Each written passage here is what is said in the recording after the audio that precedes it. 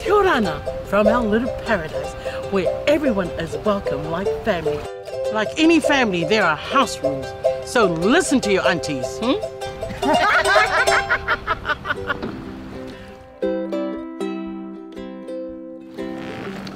Exploring our pristine lagoon is one of our joys in our little paradise. So let's talk about lagoon safety. Yes, safety!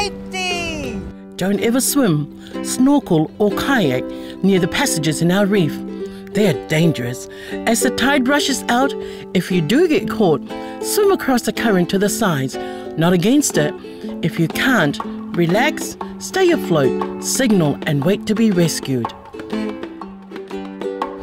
Never snorkel alone. And remember, tell somebody where you're going. Babe, where's your buddy? If you're kayaking, wear a life jacket, avoid the passages, and paddle smart, knowing your limits. And if possible, it's more fun and safer if you don't paddle alone. Paddle smart!